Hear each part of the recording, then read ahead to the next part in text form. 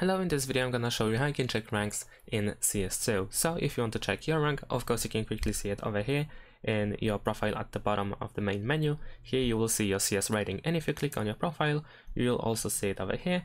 Or if you don't have rating yet, then how many wins you need in order to unlock the rating. And of course if you play Wingman game mode, then you will see your Wingman, Wingman um, rank over here as well.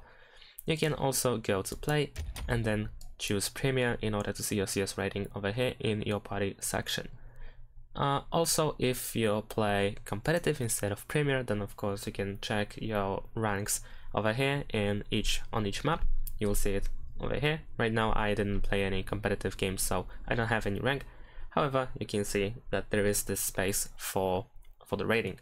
And if you want to check your friends rating, then all you need to do is simply go to the right side where you have your friends and then left click the person in order to see their rating or their wingman uh, group.